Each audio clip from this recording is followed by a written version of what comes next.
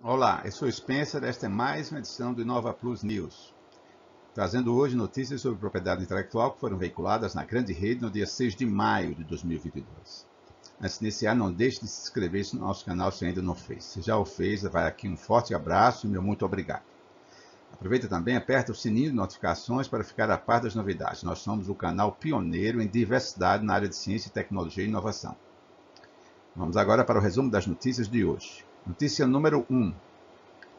Curso gratuito sobre propriedade intelectual recebe inscrições até 2 de maio, Universidade Federal do Mato Grosso. Se veiculado em 29 de abril no portal da Universidade Federal do Mato Grosso.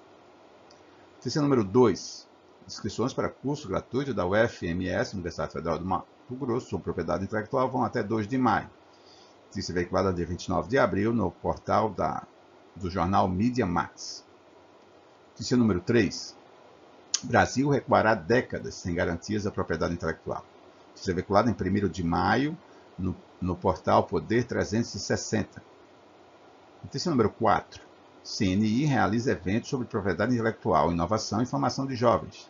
Notícia veiculada no dia 3 de maio no portal da Indústria. Notícia número 5 aula especial sobre PRI, PI perdão, e empreendedorismo para jovens, ministrada pelo professor Gabriel Marcuso, veiculada em 4 de maio no portal do Governo Federal. Esse número 6. Conjur, os impactos da tecnologia blockchain sobre o prisma da propriedade intelectual. Isso é veiculada no dia 5 de maio, no portal da revista Consultor Jurídico. Esse número 7 propriedade intelectual no mercado de sementes no Brasil. Isso é veiculado em 5 de maio no portal rotajuridica.com.br. E notícia número 8. A encruzilhada em que a propriedade intelectual se encontra. Notícia veiculada no dia 6 de maio no portal da revista Carta Capital. Vamos agora para o bloco único de notícias de hoje. Notícia número 1 curso gratuito sobre propriedade intelectual recebe inscrições até 2 de maio. Conforme a notícia, interessados no uso da propriedade intelectual em negócios de base tecnológica têm até 2 de maio para participarem do curso gratuito e virtual oferecido pelo Instituto Nacional de Propriedade Industrial INPI. Não se preocupe, se não conseguiu desta vez, novas oportunidades surgirão. As inscrições podem ser realizadas no portal Academia Virtual INPI.gov.br. A formação será do dia 2 a 31 de maio. Tem como objetivo capacitar profissionais de empresas e instituições científicas, tecnológicas de inovação, as chamadas ICTs, atuantes de negócios de base tecnológica na temática da propriedade intelectual, em especial no campo de patentes.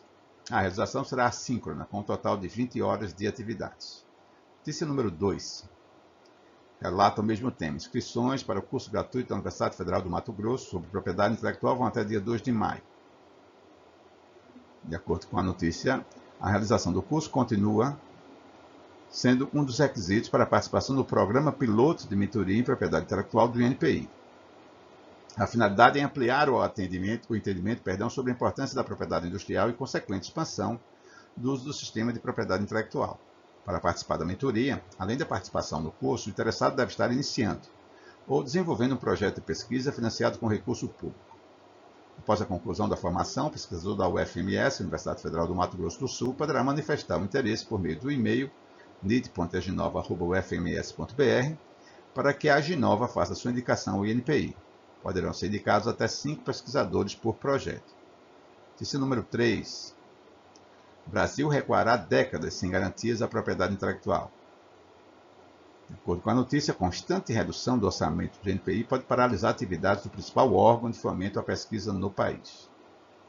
Como representante das principais empresas de bioinovação do país, posso dizer com autoridade quantos produtos e segmentos embarcados com essas tecnologias têm feito a diferença no mundo em termos de avanços econômicos, sociais e ambientais. É o grande salto que vai nos levar de um ambiente produtivo capaz de causar destruições à natureza e colocar em risco futuro do planeta para um ambiente produtivo que utiliza adequadamente os recursos naturais com possibilidades de recuperá-los gradativamente. Até cerca de 10 anos atrás, as questões ambientais eram tratadas como necessidade de sobrevivência da espécie humana. Nessa década, passaram a ser tratados como modelo de negócio, uma questão de sobrevivência das empresas. E a bioinovação é a chave para esse caminho de. Notícia número 4. CNI realiza eventos sobre propriedade intelectual, inovação e formação de jovens.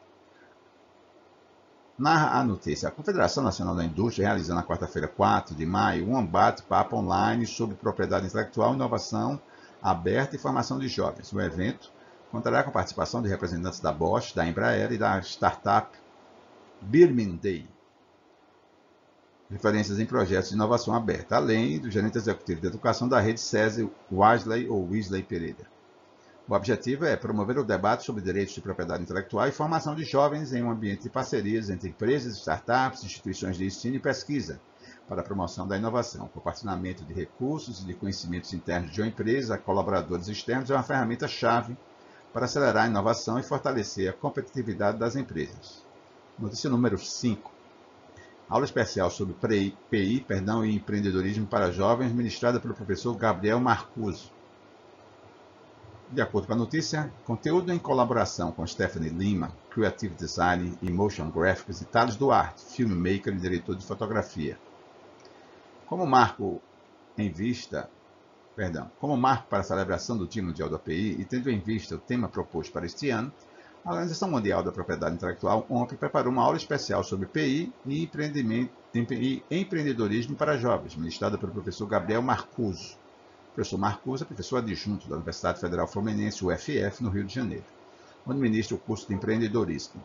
A aula está disponível para download através de um link em licença Creative Commons, para quem tiver interesse em disponibilizar a aula em seus canais do YouTube, websites e redes sociais. A OMP também disponibilizou um e-book como material de apoio. Notícia número 6.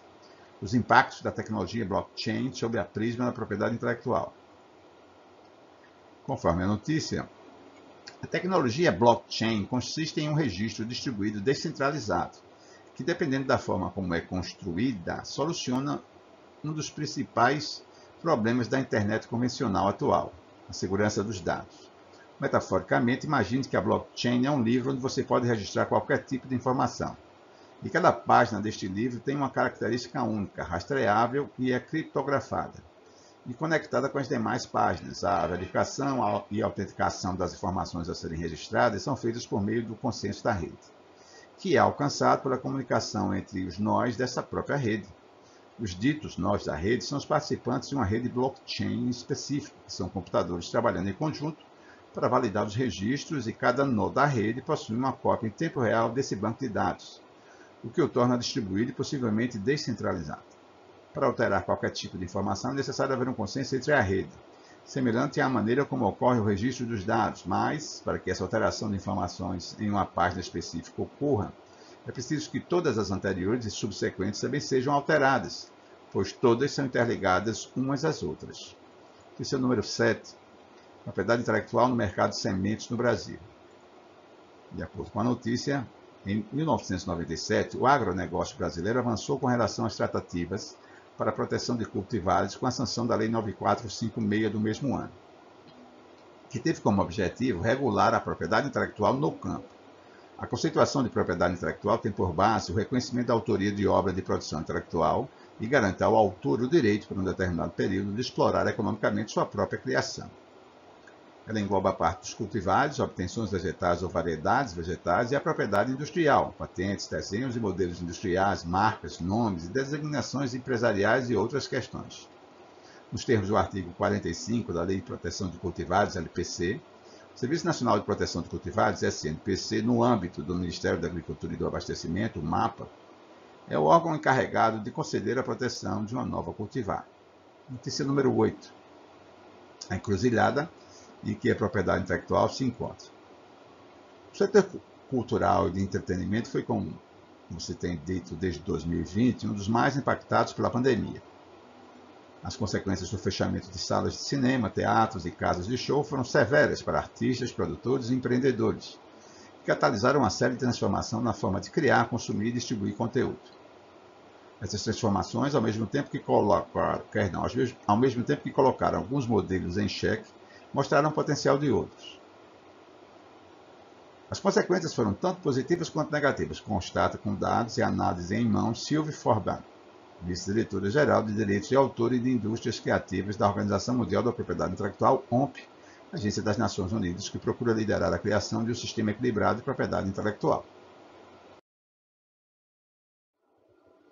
Não deixe de conferir as notícias aqui divulgadas. Os links para o acesso ao seu conteúdo integral estão listados abaixo na descrição deste vídeo. Se ainda não fez, inscreva-se em nosso canal. Se já o fez, muito obrigado. Aperte o sininho de notificações para ficar a par das novidades. Toda semana, vídeos novos sobre os mais diversos temas relacionados com o Sistema Nacional de Ciência, Tecnologia e Inovação Brasileiro. Se gostar dos nossos vídeos, curta-os e compartilhe-os em suas redes sociais. Mas só faça isso se quiser e puder. É grátis e rápido. Em o fazendo, peço sua crítica e sugestões que tenham importantes para o desenvolvimento do nosso canal. Muito obrigado a todos e paz e saúde.